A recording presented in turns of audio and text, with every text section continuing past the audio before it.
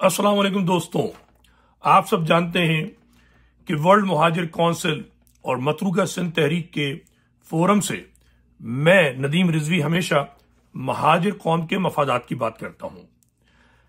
कल एक बहुत बड़ी खबर है जो मैंने अब तक महाजिर हलकों में नहीं सुनी, जिसका महाजिरों से ताल्लुक बनता है।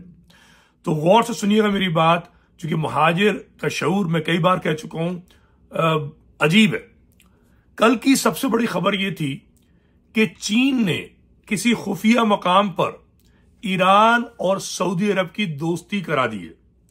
ईरान और सऊदी अरब, जिसको अमरीका और या मगरब जो भी कह लें, गुजश्ता दहाइयों से लड़ाते चले आ रहे थे और सात साल में बहुत बुरा हाल हो गया। यमन की जंग, शाम की जंग, इराक की जंग, इसके पीछे जो अनासिर थे, उनको चीन ने काट कर फेंक दिया। और सऊदी अरब और ईरान को भाई भाई बना दिया।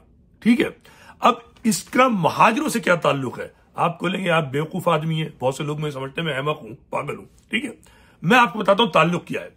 सोशल मीडिया पे जाइए। सोशल मीडिया पे आपको मुहाजिर क्यादत, जो नाम नेहाद इतिहाद के बाद बनी है, इंजीनियर्ड, चाइना की एमक्यूएम जो बनी है, उसका एक काम है, एक काम इमरान खान को गाली, इमरान खान को गाली, पीटीआई को गाली। गोद में किसकी बैठे हैं? पीपल्स पार्टी की, नून लीग की। उस फौज के जर्नैलों की गुलामी कर रहे हैं। उनके लिए कठपुतली बने हुए हैं कि जिन्होंने महाजरों का बेड़ा रख किया है। ठीक है? इमरान खान का भी कसूर है मानता हूँ। मैं तो बहुत तनकीद की और आइंदा भी करूँगा, अब भी कर रहा हूँ। इमरान खान ने साढ़े तीन साल महाजरों को कुछ नहीं दिया सिवाय ग्यारह सौ की जाली लॉलीपॉप के। मगर और जो कुछ नहीं दिया, जो नून लीग और पीपल्स पार्टी ने दिया, वो है पच्चीस हज़ार लाशें। ठीक है, जो फौज की मदद से इन दोनों पार्टियों ने महाजिर कौम के मतलब माथे पे फेंकी है खून से रंग दिया और एम क्यू एम पाकिस्तान उनके साथ बैठी हुई है। और इमरान खान को छेड़ रही है जबकि इमरान खान ने लॉलीपॉप दी है, मगर लहू नहीं बहाया। ठीक है, अब ये मैंने बात क्यों की? गुफ्तगु शुरू हुई है चीन सऊदी अरब और ईरान। इसलिए कि पाकिस्तान बैन अवी सियासत से जुदा नहीं है। जो कुछ पाकिस्तान में हो रहा है, वो बैन अवी सियासत के तहत हो रहा है। ये जो जर्नैल है, इनको वॉशिंगटन डीसी की सपोर्ट हासिल है। आ रही बात समझ में?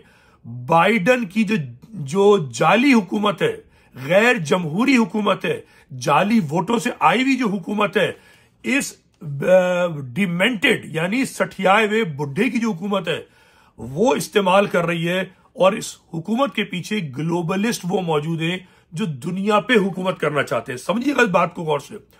जबकि चीन जो है, वो सऊदी अरब और ईरान, पाकिस्तान, इंडिया, रूस, इनके साथ एक ऐसा मफादात का समझौता करके चलना चाहता है कि जिसमें जंगे ना हों। मुझे बताइए, पाकिस्तान का मफाद किसमें?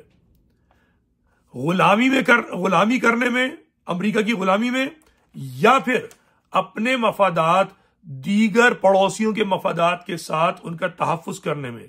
बस यहाँ इमरान खान की बात आती है। इमरान खान ने बाइडन को और बाजवा को दोनों जो बे से आते ना, पाकिस्तान में चे का वर्ड भी होता है। इन बाइडन, बाजवा और चे को मिला लीजिए।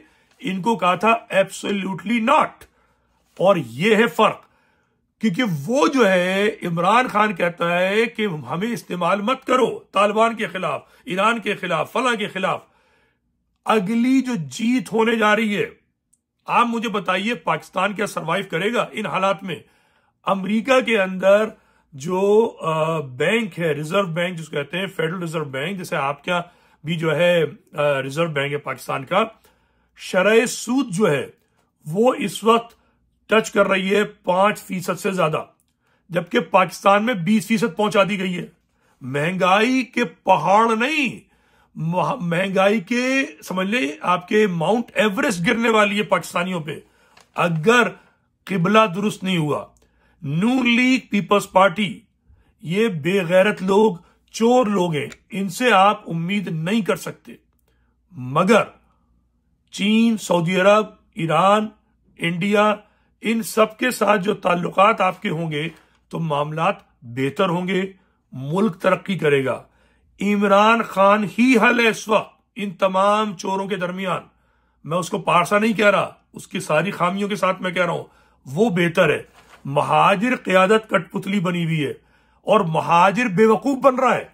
जिस तरीके से अट्ठासी में जमात इस्लामी को गालियाँ दे दे के, दे दे के महाजिर महाजिर को लड़वाया गया, इसी तरीके से उसके बाद पीपल्स पार्टी से जब लड़ाई हुई तो महाजिर महाजिर लड़ा। सिंध का नस्ल परस्त नहीं लड़ा। आज भी पीटीआई के जो महाजिर लीडरशिप है, उससे गालम गलोच करवाई जा रही है, उससे लड़ाया जा रहा है। मगर जो पीटीआई में सिंध का नसल परस्त है, उसको कुछ नहीं कहा जा रहा। ये महाजिरों को इस्तेमाल करने की साजिश है। अब ये महाजिर समझे, इस ग्लोबल सिनेरियो के अंदर, ग्लोबल जो महँगाई होने जा रही है कैद साली होने जा रही है, कराची पे कब्जे की साजिश हो रही है, कराची को बर्बाद किया जा रहा है, सोचे समझे मंसूबे के तहत, फौज के जर्नल खामोश है उस पर एम के एम कठपुतली बनी हुई है, महाजरों के कातिलों के साथ बैठी हुई है, और लॉलीपॉप देने वाले इमरान खान को दबादब गालियाँ दी जा रही हैं जबकि मुस्तबिल इमरान खान है। ये महाजरों को सोचना होगा, हमें इकट्ठा होना है, अपने मफादात का तहफुज करना है, अपने असल दुश्मन, सिंध का जो शैतान है, जो मथरू का सिंध पे काबिज है, कराची पे कब्जा कर रहा है, सरकारी इदारों पे कब्जा कर चुका अब प्राइवेट इदारों पे उसका कब्जा जारी है। महाजिर को गुलाम बनाना चाहता है। महाजिर को कैंपों में पहुंचाना चाहता है। समंदर में फेंकना चाहता है। इस जालिम दरिंदा सिफत दुश्मन का मुकाबला करने के लिए दुनिया से हम दुश्मनी क्यों लें? हम इस दुश्मन पे क्यों नहीं आके रखें? इससे अपने आप को क्यों ना बचाएँ? हमारा हाल ऐसा है जैसे हिरन जो है। उस, वो इस वक्त एक ऐसे मगरमच्छ के जबड़े में है कि जो पूरा निगल लेना चाहता है। और हम जो है आपस में सींग लड़ा रहे हैं आपस में लड़ रहे हैं इसको खत्म करना होगा। ख्याल रखिएगा। खुदाफिज